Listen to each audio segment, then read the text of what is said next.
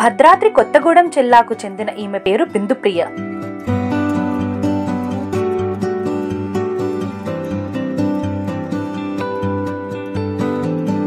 బిందుప్రియ ఎనిమిదవ తరగతి చదువుతున్నప్పుడే క్షవరవృత్తి చేసుకునే వాళ్ళ నాన్న అనారోగ్యంతో మంచాన పడితే తమ కులవృత్తిని ఆయుధంగా చేసుకొని ఇంటికి పెద్ద దిక్కుగా మారి కుటుంబాన్ని పోషిస్తుంది.